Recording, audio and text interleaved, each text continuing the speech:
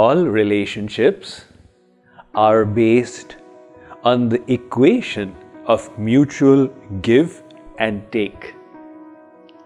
They are hampered by selfishness and nourished and strengthened through sacrifice and service. Let us learn the importance of these today on the seventh day of our happiness challenge. One boy and girl came to me and said, Swamiji, please give us your blessings. We have decided to take the seven circles around the fire to get married. I called the boy aside and said, Why do you wish to marry this girl?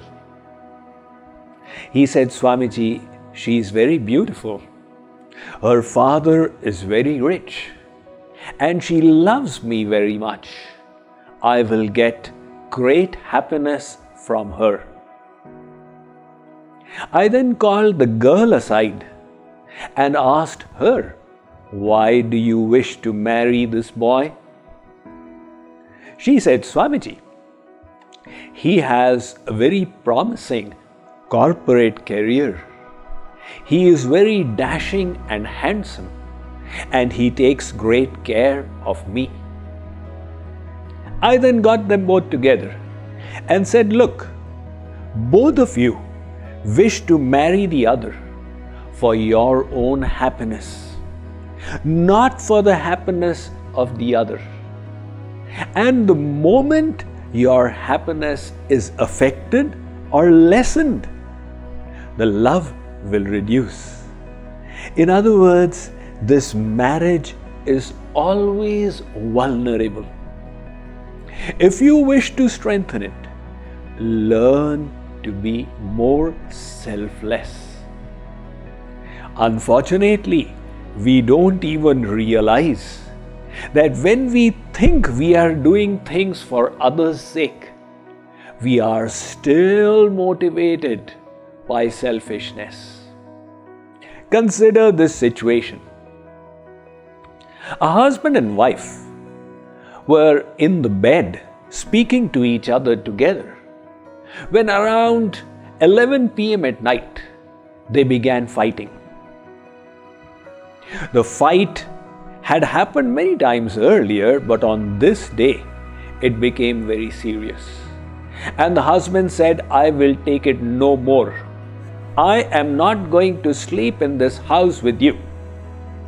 He got out of bed, he walked out of the door, and he went to sleep in the car in the driveway. One hour later, the wife had a change of heart. She suddenly realized how much she loves her husband. So she took her husband's favorite soda bottle out from the fridge to go and give it to him. But when she reached the car, she found that he was asleep. Nevertheless, she opened the door and placed the soda bottle there and closed it back, thinking that when the husband wakes up and sees what she has done for him, he will also realize how much he loves her. And then they will live happily ever after. Now, if this had been a fairy tale, that would have been a probable ending. But this was not a fairy tale. When the husband got up and saw the soda bottle there, his anger had not yet subsided. Rather than drinking it, he poured it onto the road and then smashed the bottle. When the wife came to know what the husband had done, she became infuriated. And she came to meet me and said, Swamiji, when I behaved so selflessly with my husband, why did he do this to me? I said to her, What did you expect your husband to do for you? And that is when a bombshell hit her.